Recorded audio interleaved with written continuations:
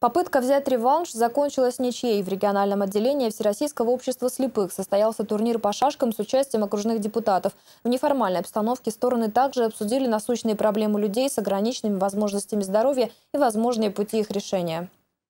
Региональное отделение Всероссийского общества слепых посетили депутаты Александр Лутовинов и Виктор Кмить. В неформальной обстановке стороны обсудили насущные проблемы и провели турнир по шашкам, который проходит уже третий год подряд в рамках декады, приуроченной к Международному дню слепых.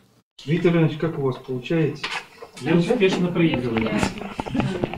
Я тяну время. В этот раз народные избранники попытались взять реванш, но дружеская встреча закончилась ничьей. Стоит отметить, все шахматисты находились в равных условиях. Они играли, полагаясь только на свое осязание. Они, э, как сказать, находятся в положении, значит, э, инвалида по зрению, ну, раз мы им одеваем, как сказать, темные очки, и они уже представляют мир, э, значит, с точки зрения уже инвалида.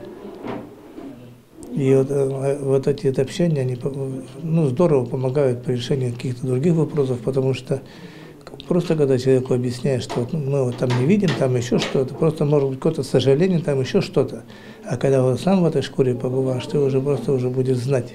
После встречи представители регионального отделения Всероссийского общества слепых рассказали депутатам о своих проблемах. Парламентарии, в свою очередь, пообещали по возможности помочь. Еще раз обращаю внимание на ту часть нашего, э, наших людей, которые, к сожалению, имеют проблемы со зрением. И разделяя вот таким образом их проблемы, я полагаю, мы действительно еще больше и лучше понимаем вот эти трудности, которые э, вас сопровождают по жизни. В настоящий момент обществу инвалидов нужна компьютерная техника и средства реабилитации. Имеющиеся пострадали в результате коммунальной аварии, которая случилась летом. Валентина Чибичек, Ирина Нежалова, Дмитрий Лукевич, телеканал «Север».